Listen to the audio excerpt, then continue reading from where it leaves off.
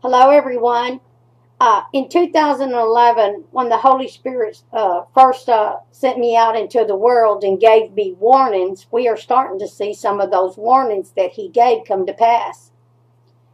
Uh, and a lot of my videos on those warnings went down with my computer. But I always keep the warnings that God gives to me because I write down everything that He gives to me, even the revelation knowledge uh, the dreams, the visions, the warnings, they're all written down and I keep everything that he gives me. So last night he was speaking to me and he said, uh, the warning videos that you gave in 2011, uh, re, uh, put those warnings back up. And I said, my Lord, a lot of people heard those warnings in 2011 and uh, it is an old warning, and the Holy Spirit said, Put the warnings back up there so all the world can hear that the words that God gave to you are coming to pass. Uh, so I got, I went and looked through my notes, and I found uh, some of the warnings because there's so many.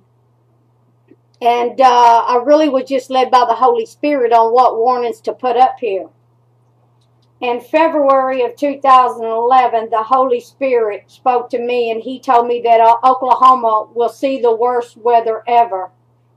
He said there'd be lightning strikes causing fire in California. He said Obama will move against Israel, giving their land away. He said Italy, Iran, I mean, I'm sorry, Italy, Ireland, Greece will announce they are collapsing. He said the coastlines will be flooded and the ocean will rise high and higher. He said the worst weather ever. The weather will grow worse. It will not get any better, church. I hate to tell you that. I tell you that in every warning, but it is true. And it is from the Holy Spirit of God. He said things will fall from heaven to this earth. He said there'll be meteor showers and fireballs falling from the sky. He said there'll be a volcano in America.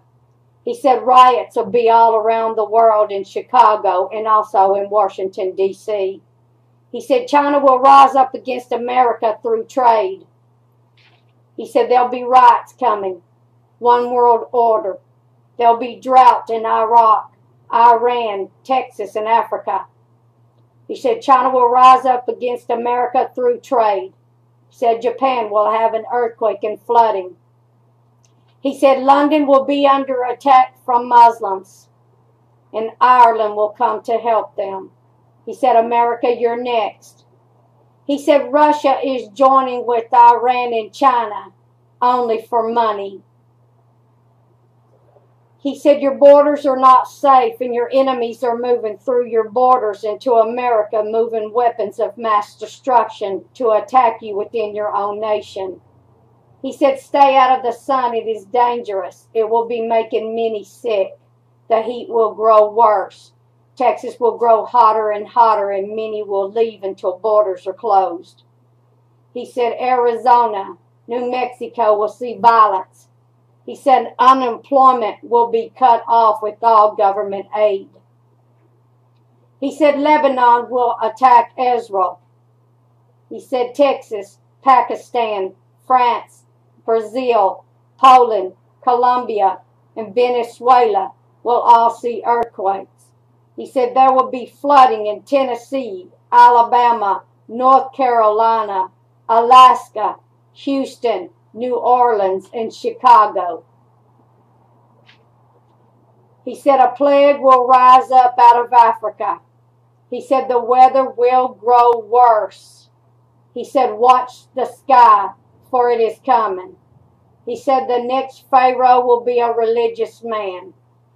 He said Israel will move against Iran and Lebanon.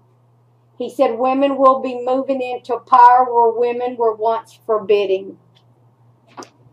Those were the warnings that the Holy Spirit, some of them, not all of them, church, that the Holy Spirit of God spoke to me in 2011.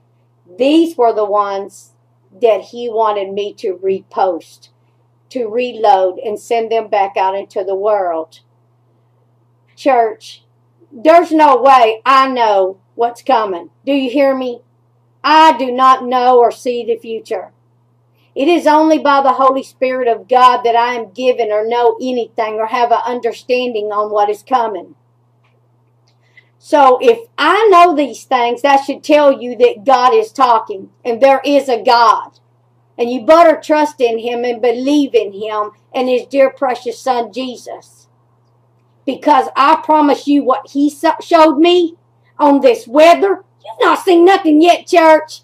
He showed me that what you're looking at now, you will continue to see this right up until Jesus returns. Do you hear me, church? This is going to continue that even into the great tribulation and even through the wrath of God. He showed me 60 pound hail that's going to be falling from the sky. I saw hail bigger than I've ever seen hail in my life, and I've seen some big hail. Church, there's going to be things falling from the heavens that you and I have never even thought about. But it's coming. And the mark of the beast will be here. I'm telling you, while you're all sitting at home looking at this weather, you're not seeing nothing yet. That weather's going to be so bad that man's not even going to be able to come up with the money to help the people that have their homes destroyed because there's just too much destruction. That's what he showed me. He said, everywhere you look, there will be destruction. It's coming, church. You're going to be seeing earthquakes. You're going to be seeing flooding. You're going to be seeing tornadoes. You're going to be seeing hail. You're going to be seeing damaging wind, damaging lightning. You've not seen nothing yet. And while you're looking at that church, you're going to be looking at solar flares burning the grass and burning the trees. You're going to see power put out all over this world like you've never seen before. And if you're not dealing with that, you're going to be dealing with war and nations going to war and battle. You're going to see famine and drought like you've never seen before. You think I like telling you all this is coming? But I've seen it. I've seen it in visions. I've seen it in dreams. I was it was given to me by the Holy Spirit of God. I'm telling you, I'm out here to warn you that You've not seen nothing yet. This is just only the beginning of the destruction that is coming upon this earth. And you better look up because some of this is going to be coming from the heavens. Some of this is going to be falling to this earth. We're going to see meteor showers, that meteors hitting this earth. We're going to see fireballs hitting this earth. We ain't seen nothing yet. I saw the flooding in New York and I saw many years ago the flooding that hit the Statue of Liberty. I saw her going under in that flood.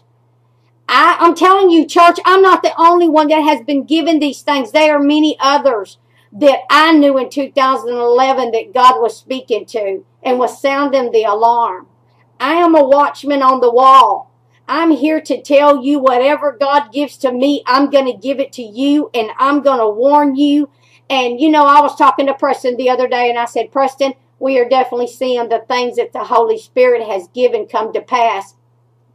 And I said, the Holy Spirit told me to send out those warnings in 2011.